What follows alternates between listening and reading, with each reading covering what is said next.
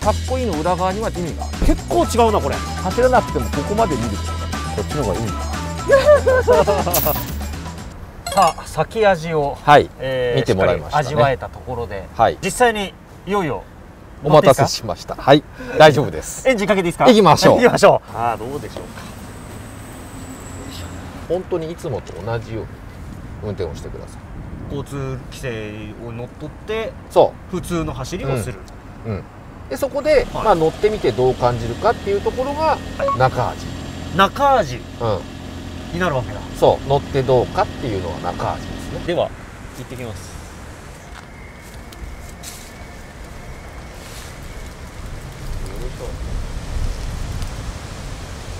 まずはこの昔の方の車ビッツでどんなポイントをはい、感じたらいいのか、普通に走ってくださ普通に。いつも通りの運転をするも通りの運んですね転でここ覚えておいてくださいっていうところは僕はい。が適宜言います、はい。乗り比べではトヨタ自動車本社周辺のおよそ10キロのコースを走ります。まず運転するのはヤリスの1世代前にあたるビッツ。ここで感触を覚えておいて後ほどヤリスを運転した時にどう違うのかを味わってみます。これ交差点曲がる時のこうステアリングの感じ？アクセルの感じ？はい。あと当然これ今左に曲がるので、はい。えーしっかりこう寄せて曲がれるのかとかね、あそうですね。うん、だからそれもまあある意味いつも通り精い一杯やれつも通り、ばうん、精一杯やってください、アクセル踏む時も例えば制限速度までスーッと車速を乗せてはい。その速度がしっかりキープできるかとかね。自分が踏むより出過ぎてもダメだし足りなすぎてもダメああ自分がこれぐらいと思った通りにそう。車が反応しているかどうか、うん。ブレーキ。ですね。同乗者に不快のあるブレーキになってしまうのか。ちょっと今あの 思ったように止まれなかったそう。ドライバーが気を使うっていうのもあるけど、はい。気を使わなきゃ止まらないっていうのはそういうコントロールができないっていうのもやっぱり車のそこは車のせいなんですよ。でここから下る。下るで下りながら多分曲がっていくじゃないですか。はいはいはい。速度が少し出てしまう時にその白線に沿って走れるのかどうかみたいなね。ああここも沿っていこうとするとどうだろ森田さん的に今すごいちゃんと曲がれたと思います？ちょっとずれたかな、うん。そうそこなんですよ。今僕も同じようなこと考えたんですよ。はい。よく言うその応答遅れ応答遅れ。自分は操作をしてるのに車が答えてくれなかった。椅子も結構関わってくるんですよ。あ、シートですか、うん、パッと乗るとなんかすごい柔らかい感じがするじゃないですか、だからやっぱり長く乗ってくると今度柔らかいから底付きしちゃう。い底付き。わゆるクッションがこうどんどんどんどん潰れていってしまってとどんどんお尻が痛くなっちゃうとかね。うんうん。だからパッと乗ったら感触いいなと思ってもちょっと乗ってたらどうだろうっていうのはね。柔らかいってことは動きやすいってことじゃないですか。そうですね。そこはががっちりとしそう。ある程度ホールドされていたそう。でももがっちりしすぎると今度はショックを直接受けちゃうからそうか。そのバランスが難しいんですよね。私自身も気づいたことがありました。なんか気づいちゃいましたよ。気づいちゃいました。うん。左足 どこに置いたらいいか。なんか今ふと考えたらうんあんま決まらないなって感じがやっぱりどこに置いていいか悩むっていうのも正しい運転姿勢に関わってきますよね、うん。これさっきあのブレーキとアクセルペダルの間を行き来する上で、結構ブレーキを真ん中を踏もうとすると、うん。自分がねじれますよ、ね。かなり自分の体をねじらないといけないということをうん。言いましたけど、やっぱりだからこそちょっとこうブレーキペダルの真ん中じゃなくてやっぱ端をうん。踏まざるを得ないようなそんな感覚がうん。ありますね。うん、本当はそこは違和感なく乗ってないといけない、うん。今エンジンかかりましたよね。ね。ああれも覚えておいてください、ああもううんってもうはっきりと。うん、あエンジンかかったなと。で音がかするのはまあ当然エンジンかかるから音するんですけどその時に振動があるとか、何かこう揺れてる感じがあるとか次が同じハイブリッドですからねやり。そうですね。うん、到着しましたよ。さあ車庫入れをしてこの旧型はフィニッシュです。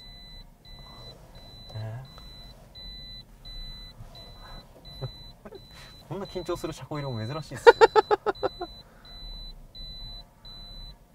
うん、これでまっすぐなんじゃないか？ちょっとあんまねここは見えない見えづらいな。はい。はい。やりました。まっすぐ入ってます？えまっすぐ入ってませんちょっと見てみましょう。あまっすぐ入ってますね。まっすぐ入ってる、うん。まあ、まずちょっとここ見づらかっまあ、カメラも、はい。まあ、今の車はカメラついてる。やっぱはい。カメラが見づらいっていうのもありますよた、ね、はい。あとミラーはどうでした？まあ、結構こここうね。そう今こうなってましたよね。あのこのままこうというわけにはいかなかった今んで。こうなってあどうどうなの？どうなの？ってなんならこここの窓開けてこう見たかそうった。そうそうそうそうだってミラー調整してるわけですよね。そうですね、うん、なのにやっぱり気になるっていうのは果たしてミラーのせいなのか？どうなんでしょうね。わかんないですそれそれは今の時点では分かりません、うんまあ総じて運転自体は、うん。もう本当に一般の行動を走るにおいては、うん不満があったかと言われたら正直ないです。ない。これだけ乗ってれば、はい。体がねじれるっていうのは、あそれはね。やっぱり分かった分ちょっと気にはなりましたね。先味で知ってしまった先味で知ってしまった分。うん。これでビッツの走行が終了。そしていよいよヤリスに乗ります果たして違いは感じられるのでしょうか？乗る前の私は正直半信半疑でした。さっきまだ先味だけを体感してるんで。どうでしょうよいしょ。あさっきよりもねやっぱり真ん中感はあります、ね、ある。違うでしょ？違いますね。で当然このモニターの位置も今までこの辺にあったんですよ。結構じゃあ目線を落としてたわけだ、うん。バックモニター。はい、こうこう今まで森田さん見てたんではいはいはいあとかね。それが自然にここだけで。そう。一応この高さ合ってるじゃないですか。ではヤリスで行ってきます。さあ楽しみですね。はい。ああああストレスレスですねこれは。すごいステアリング滑らかじゃないですか。ああなんだろファーストコンタクトは。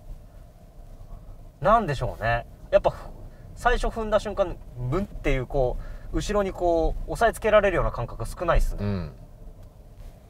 すごいなんかで抵抗がなく転がってる感じがします。転がる。そう。あ転がるっていう言葉はこういう感覚で使うわけですね、抵抗なく転がる、うん。そうです。さあ信号。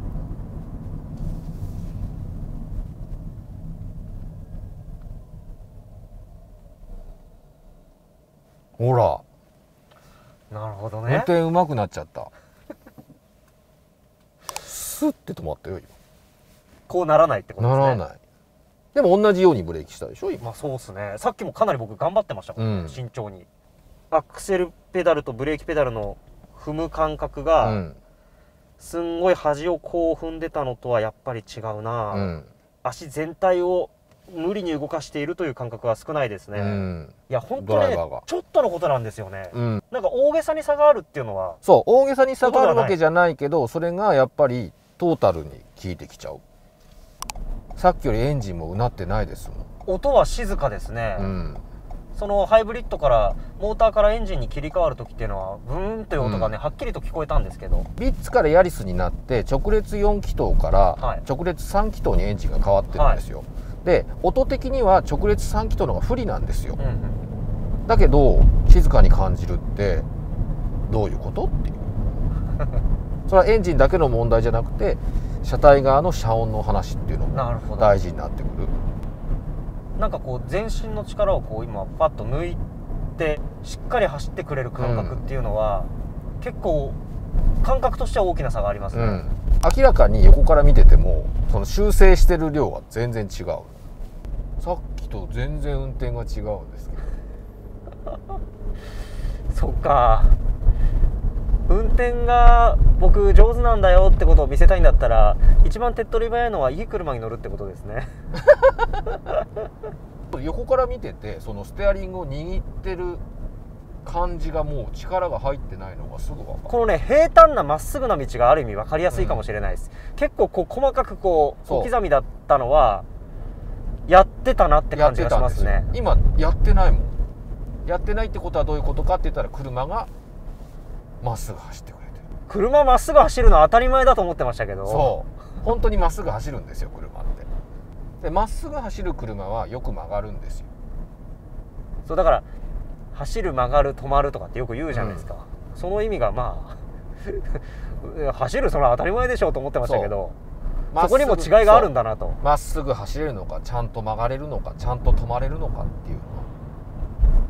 えー、普段の一般道でこんなに違いが意識できるようになるもんですね。そう。アクセルそんな踏んでないじゃないですか。余計に静かなんですよ。同じ空間とは思えないくらい。やっぱさっきよりもこれ静かか。明らかに静かですよ。で明らかにエンあのアクセル踏んでないです今までは意識してくださいって言って白線に沿って走るとかってやってたけど今言わなくてももう白線に沿ってますもん。で同じハイブリッドなのにガンガン EV モードで走る。もう明らかにスーって軽く走ってる感じしますいやヤリスかなりいい車ですね。でしょ？あ気持ちいいな。これね気持ちいい領域に来るんですよ。やっぱ言う通りに車が動くと。気持ちいいな。でもこれくらい車って変わるんですよ。へえこれが TNGA これ TNGA か。知らなかったな。今トヨタの車はその無意味な改良はしない。うん。ただその外観をリフレッシュして販売を良くしようみたいなことってあんまりやらなくなってますよね、本当にもっといい車になるためのそ改良だけがうん。入っていると、そうそれに、えー今はすごいお金を費やしてるというかね。あこだわってるというかね。ーさあ帰ってき帰ってましたきました。車庫入れです。どうでしょうね、またかさすがにここはちょっと力入りますよ。どうだ？こう思ったよりスムーズにいきましたけどこれでどうでしょうか？いいんじゃないですか？おいいっすか？バッチリ。えなんかストレスなくいけましたね、うん。もちろんね、あのーカメラがついてるっていうのもあるんですけど、やっぱりさっきビッツの場合はミラーで見てると曲がってるかもって思ったじゃない思いました。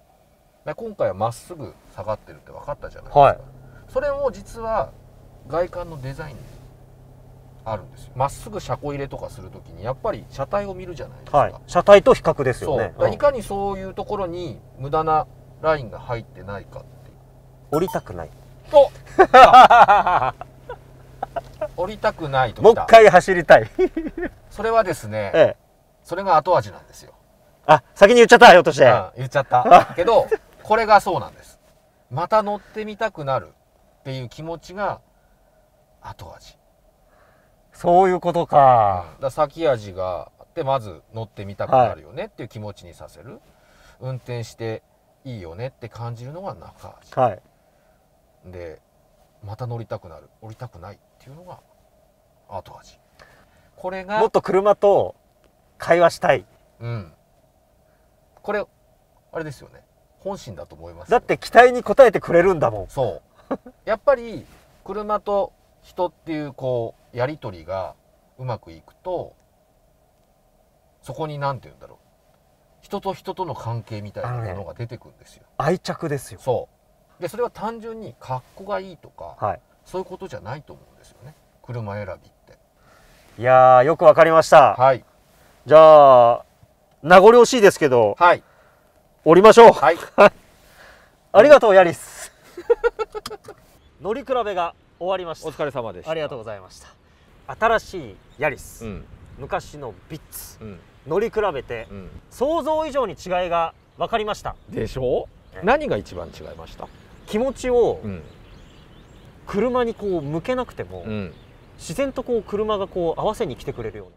当たり前のことが当たり前にできる。走る曲がる止まるっていうのがもう明らかに助手席乗ってても違います。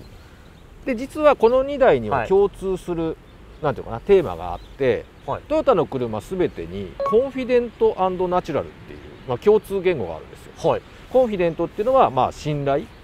ナチュラルは自然。信頼ができるから安心して乗れる、うん。で自然に操作ができるから意のままに操作あの意のままに運転ができる。まあ当たり前のことなんですよ。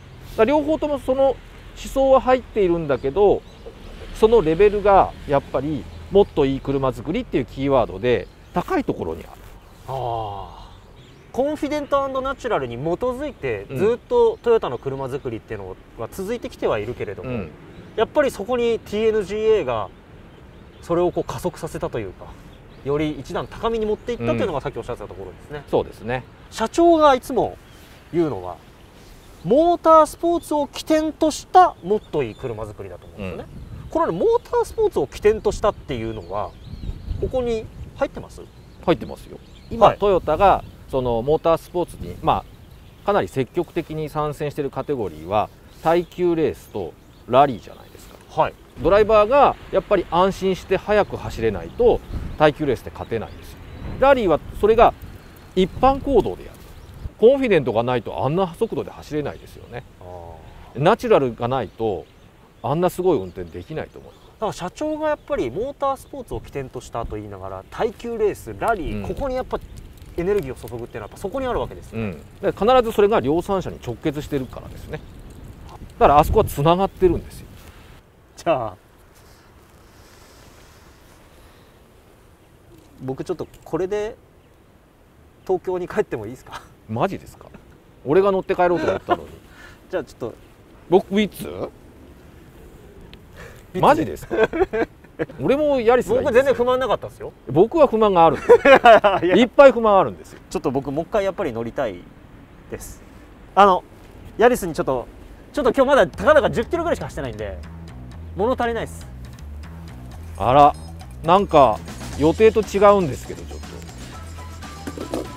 と。あら。なんかいろんなことを教えすぎちゃったら僕が損してますね結局ね。最終的に。俺本当ビッツで帰るの？本当俺ビッツで帰らなきゃいけないこのね出だしがたまんないんですよ。のなんか余計なこと教えちゃったな。じゃあお疲れ様でした。ありがとうございました。失礼します。やべえな俺電車で帰ろう。えー、行っちゃったよ本当に。やっぱりいいわ。えー、本当に行っちゃったよ戻ってくるんだよねこれね。あマジで帰りやがった。